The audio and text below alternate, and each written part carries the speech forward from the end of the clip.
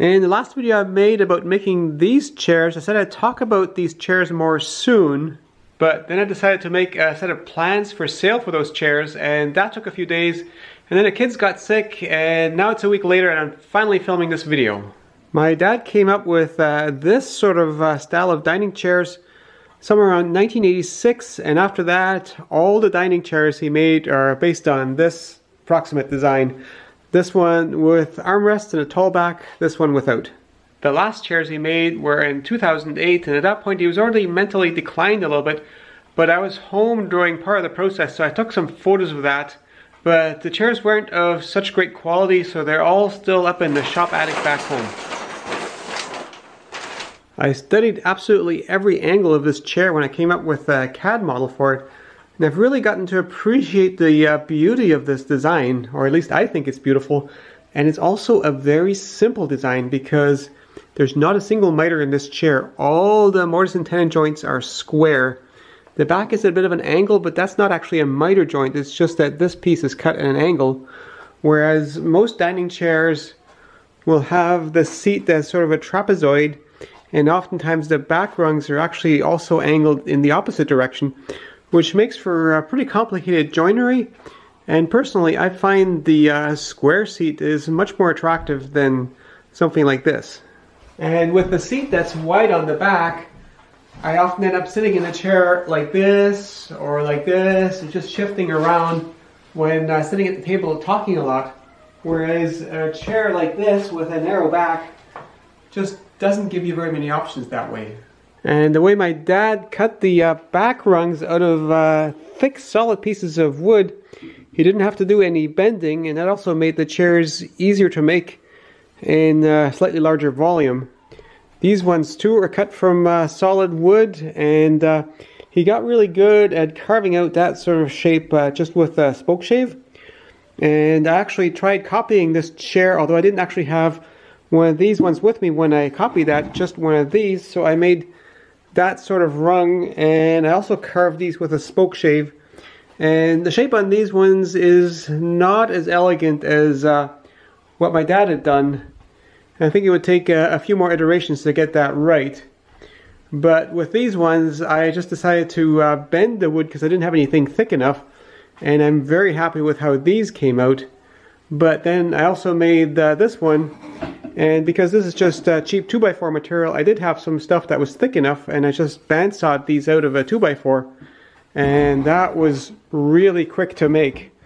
So if you want to build chairs like this, I recommend uh, if you have wood that's thick enough, just bandsaw it out of that, providing your bandsaw is good enough. Or if you want to challenge, uh, try steam bending it. If you do, not steam bending, bending in a, in a kitchen stove. If you do and you screw up, you're not going to waste a whole lot of wood because this is only 8 millimeters thick.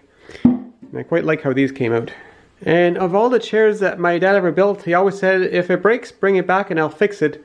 And only one ever failed, and that was in our house because it was kept in a wet basement.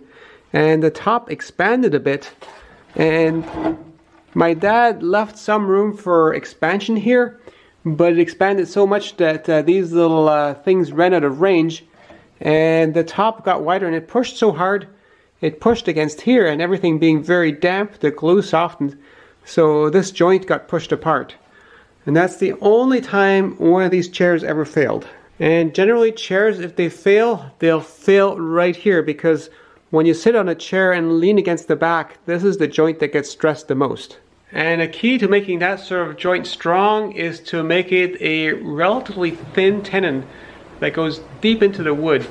And that way, if the tenon goes in deep enough, the only way that'll break is if the tenon itself breaks off.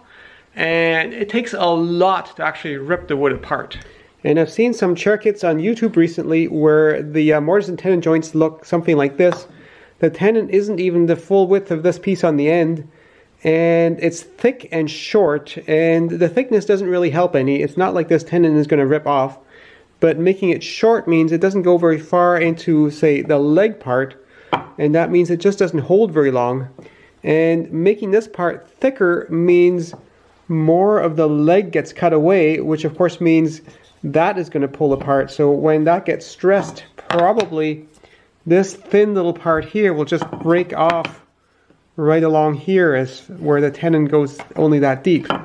And some of that is often because the uh, back legs on a chair, again with the trapezoidal seats, and then the legs might be angled this way while the uh, rail is angled this way, which means that this part joins at quite an angle to the leg. And then when you put the uh, tenon on the end of the leg at an angle, that inherently weakens it and it's very difficult to make a long tenon. And so you end up with these stubby little angled tenons that often have a corner missing just the way it was cut out of a piece of wood, as you can see in my friend Alain's video that he posted a few days ago. So imagine a chair with a trapezoidal seat and the back legs kind of angled outwards. So if you make a long thin tenon that goes into the back part like that, well the wood grain goes straight along here and that tenon would probably split just right along here. So it being long doesn't help any because it's going to fail because the wood grain doesn't run along the tenon. So ideally you would have a straight tenon with an angled face like this, but uh, that is just about impossible to make with uh, at least a machine of moderate complexity. So you'd pretty much want to hand cut these things and then when that joins into the wood here, you're also getting very close to the other face here, so it gets very difficult to make that sort of thing, so nobody does that. So the most sensible thing to do would be to actually just put in a dowel like this, and that way you can make it go fairly deep into here and deep into here, and not just two dowels, but four dowels, and also to make this part as wide as possible. On uh, this chair, for instance, this part isn't terribly wide, on these ones it is, and that gives that joint here a lot of strength. Although one way to mitigate that is to have some bracing between the legs on the bottom. And what that means is this joint here essentially helps out this joint here. And also, if you accidentally kick the leg of the chair, you're not just stressing this joint here. Again, it sort of holds this together as a frame. But if you make these joints sturdy enough, you don't need to have that little thing in the bottom in the way and it's a lot easier to build that way too. Now one thing I did different from my dad is I just doweled the armrests on there, whereas my dad, he screwed the armrest in there from the side, so this part is screwed on here, and that little dowel, that hides a screw, there's metal in there. And I think the reason he did that is he put these on last uh, so he could work out exactly how high that needs to be on the chair and how far this goes to the front whereas I just relied on my CAD model.